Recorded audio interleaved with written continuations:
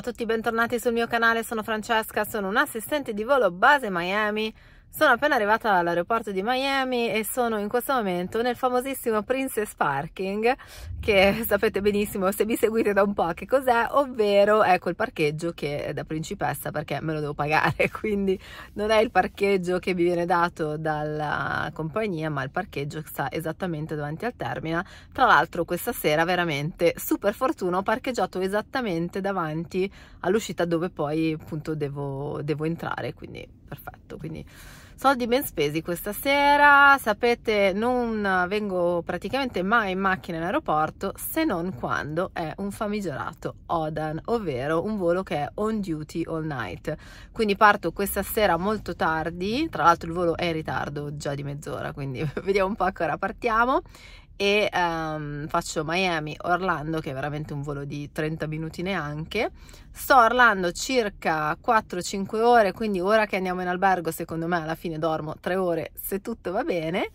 E poi torno poi a Miami domani mattina col volo delle 6 del mattino quindi torno a casa in tempo sperando di essere anche a casa in tempo per portare i bambini a scuola. Se no al marito toccherà portare i bambini con la mia super bici e non in macchina Oggi tra l'altro siccome appunto la sosta sarà così breve secondo me io faccio quello che ho sempre detto ma no dai non lo farò mai una cosa del genere ovvero quando arriverò in albergo credo di mettermi nel letto direttamente con la divisa e di lavarmi giusto i denti e quello sarà il massimo che farò.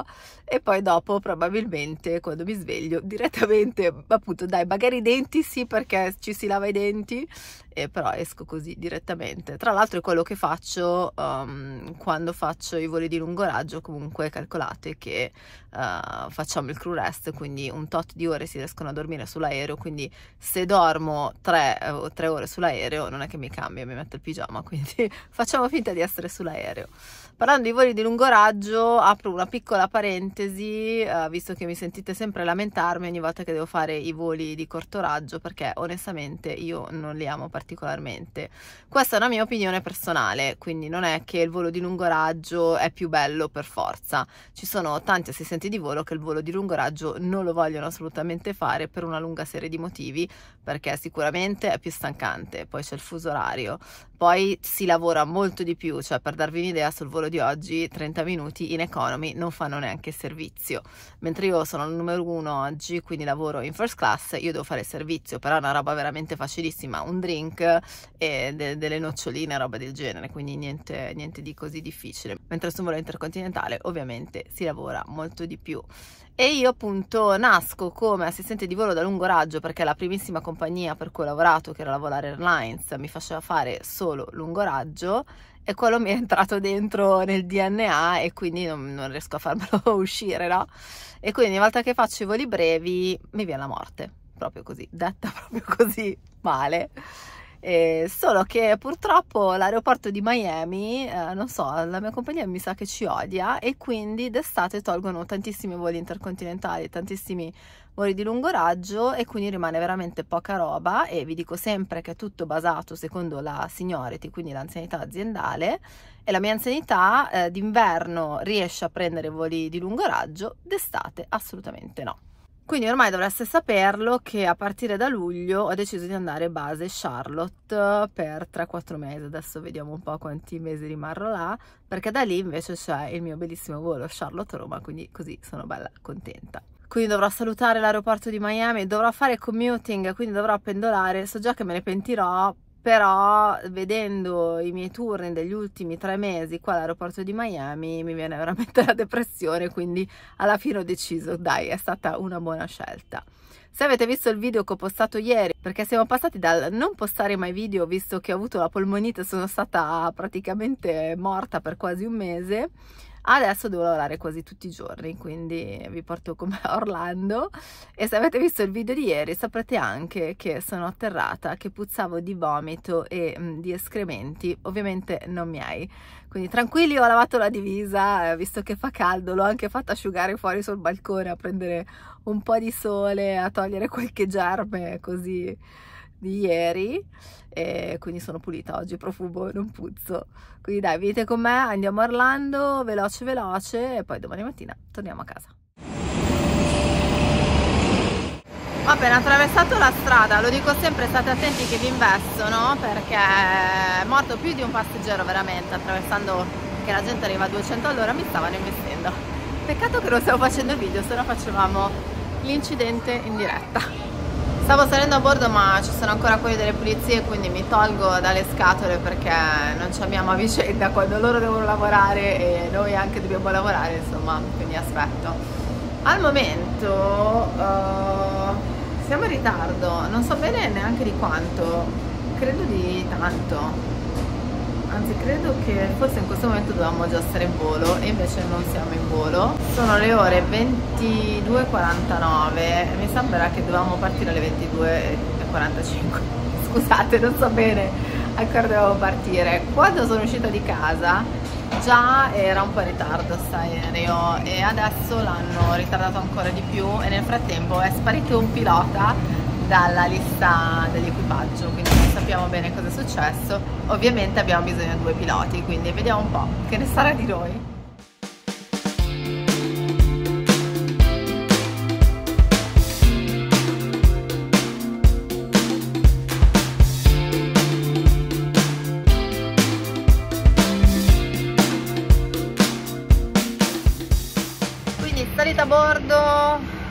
delle pulizie sono scesi finalmente, catering non è ancora stato fatto quindi questa è tutta roba sporca quindi bisogna aspettare. Nel frattempo sembra che ci hanno trovato i piloti quindi dovremmo essere a posto. Al momento siamo a bordo solo tre assistenti di volo quindi ne manca uno che sicuramente ha visto che la partenza è stata ritardata uh, fino a mezzanotte, uh, ciò significa che volendo ti puoi presentare al gate tipo 36 minuti prima del decollo um, perché a 35 minuti prima del decollo su questo tipo di aeromobile cominciamo a imbarcare. Quindi noi non siamo tenuti a salire a bordo prima. Ovviamente cioè almeno io lo faccio sempre perché c'è sempre qualcosa da fare.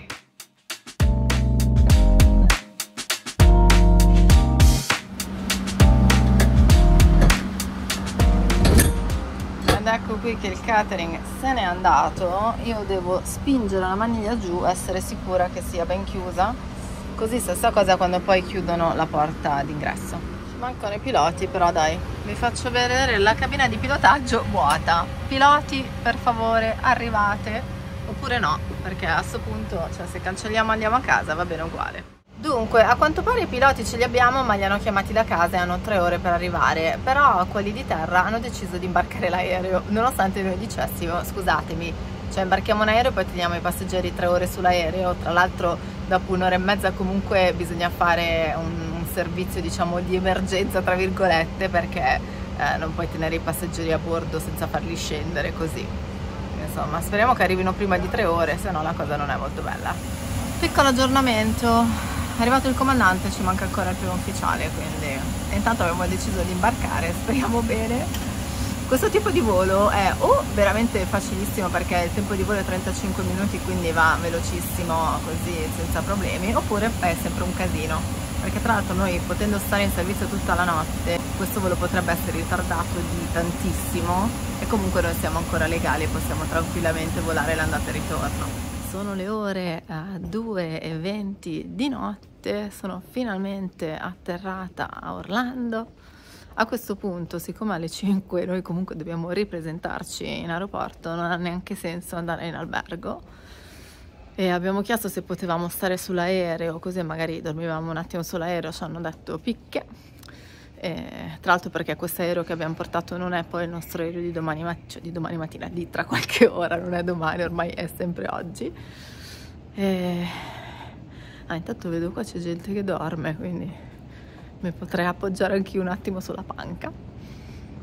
E niente, quindi sarà una bella roba che appunto ovviamente sempre quando non faccio il pisolino succedono queste cose praticamente quindi sono sveglia da stamattina alle 7 e a questo punto fino a domani mattina alle 8 sarò sveglia. Tra l'altro non vi ho detto alla fine cosa è successo perché appunto vi ho detto che a un certo punto avevamo il comandante e stavamo aspettando il primo ufficiale che non si è presentato. Quindi poi sono andata in giro per l'aereo. Siccome avevamo tanti uh, piloti, tanti assistenti di volo uh, commuters, quindi quelli che fanno pendolamento, che andavano a casa, sono andata a chiedere a tutti i piloti, scusi a me, non è che per caso tu puoi volare questo aereo?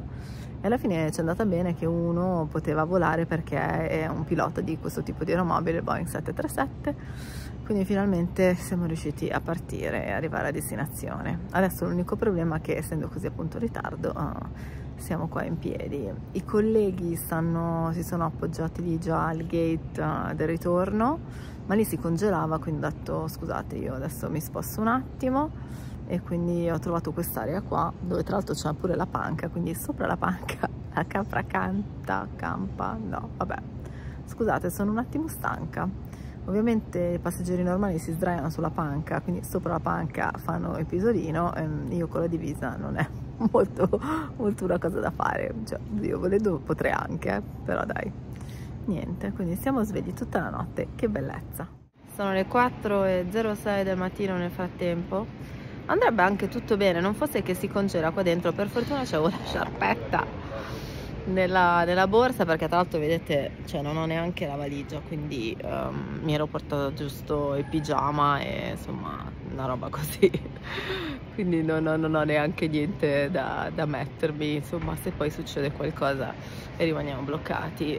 Per fortuna sono riuscita a prendere dell'acqua calda e adesso ho la mia bustina del tè in tasca infatti mi faccio un bel tè verde perché anche se appunto ho chiesto, ho detto scusate quando aprite? Aprono alle 4 e mezza gli ho fatto pena, ho detto mi date un po' di acqua calda che sto morendo congelata.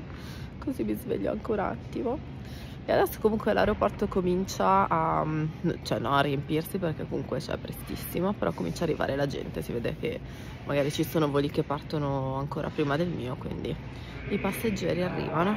Quindi notte insonne quindi questo volo è una fregatura colossale perché praticamente uh, si lavora non so 11-12 ore e di solito però appunto volo facile facile 30 minuti andare 30 minuti a tornare e nel frattempo poi si va in albergo e si dorme. Però quando succede una roba del genere non è un granché. Infatti dicevamo con gli altri colleghi diciamo questo tipo di volo è o facile facile o molto difficile difficile. E noi questa sera ci è andato difficile difficile. Salita a bordo, uh, questo Galli fa veramente schifo perché è stato lasciato uno schifo dal collega o dalla collega che ha fatto il volo uh, in arrivo. Questa stazione non fa catering quindi io ieri, cioè ieri, qualche ora fa ho lasciato il galley eh, pulito con i carrelli a posto con i carrelli sigillati. Invece chi ha fatto questo, questo galley non lo so. Sono un po' sotto shock. E quindi cioè, non so neanche se riuscirò a fare il servizio che appunto al volo però eh, mi sa che non lo faccio neanche perché non ho niente praticamente qua davanti è tutto un casino quindi così è stato lasciato il galley. Vi faccio notare che uh, i bicchieri questi sono sporchi questi sono puliti. Per cortesia agli assistenti di volo che viene dopo di te di solito questo lo metti dietro e davanti gli metti quelli puliti. Poi sono rimaste solo due bottiglie d'acqua non si capisce come mai. Qua dovevano esserci i miei snack. Invece hanno messo un sacchetto di monnezza e non ci sono più gli snack quindi se li sono rubati. Questo invece è il loro, il loro carrello sporco. I forni vanno lasciati vuoti. Mi hanno lasciato dei regali che tra l'altro adesso li devo tirare fuori io perché sennò dopo cioè quelli del catering di Miami pensano che l'ho fatto io sto casino quindi. Grazie ai colleghi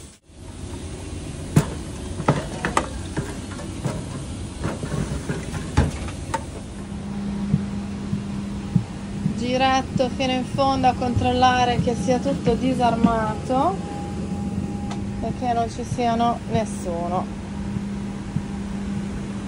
Sono atterrata a Miami finalmente. Non so se Miami mi sta facendo dei dispetti per dire ah te ne vai base Charlotte al mese prossimo. Allora adesso facciamo in modo di fare tutti i voli brutti e quindi niente, cioè, sta cosa che non ho dormito tutta la notte, adesso a, a, comincio ad accusare qualche colpo di stanchezza e quindi adesso c'è praticamente la giornata rovinata perché devo per forza dormire. Mentre contavo già solo se dormivo 4 ore questa notte, che sono pochissime, però diciamo che per me possono anche bastare per poi arrivare a fine giornata e poi magari andare a letto presto, invece così ovviamente non dormendo da più di 24 ore mi tocca dormire detto questo dai ce l'ho fatta, almeno sono a casa, quindi su questo non posso lamentarmi. Quindi vi ringrazio di aver volato con me anche questa notte, non quest'oggi. Mi raccomando iscrivetevi al canale, seguitemi su Instagram e Facebook e ci vediamo al prossimo volo. Ciao a tutti!